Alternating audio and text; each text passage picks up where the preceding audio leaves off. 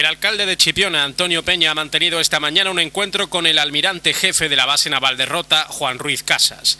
Una visita institucional en la que la primera autoridad local ha podido fortalecer los lazos institucionales con el mando de la base naval. Ambas autoridades han expresado su interés en mantener una estrecha comunicación y establecer lazos de colaboración entre ambas administraciones en beneficio del municipio de Chipiona y de la comarca noroeste.